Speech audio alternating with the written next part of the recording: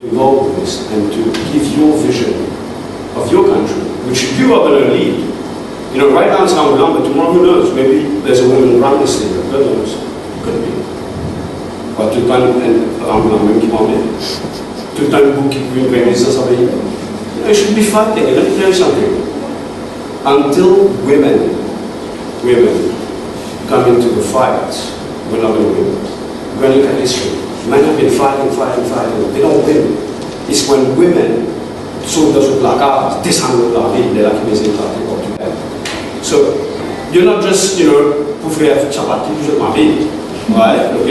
Pour des enfants. Ouais. Parce que le genre pas existé que l'on ça. Ouais, ok? Et qu'il y a plein de ce genre pour qui ont beaucoup de courage. Et vraiment, tu l'as dans l'histoire. Moi, Alain, Axel, nous parler voir du pont, nous faire ici, nous faire là-bas.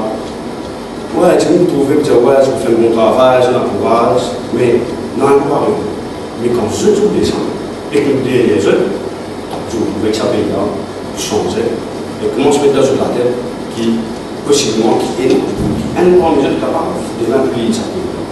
On se prend sa responsabilité là. We count on you. We count on you. And we want to see you become like tigers, you know. Not tigers for your husband, but tigers, you know, that will fight for your rights here, you know. The time is now for you to take that stand. And everywhere you go, to tell them to take that stand. Because you know, when, when, when, when I see the young people emerge, especially the guys, you know, nous malades, nous parlons de vous faire du mal. Ouais. Vraiment, je parle, parlez de vous faire. Je parle vos sous, parlez des exemples, Come on, stop like, um, and you have to motivate them. Because you know, you're the, the motivators, you know. So so take the responsibility. You're you're the mothers, you know. And uh, Mother Nature, you're the mothers, you know, you to bring life. What kind of life are you to bring? Bring warriors. We need warriors to fight these people. So start thinking like a warrior. Then your children, unborn children, will become this warrior.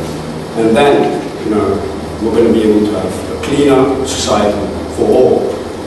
And that's what we need.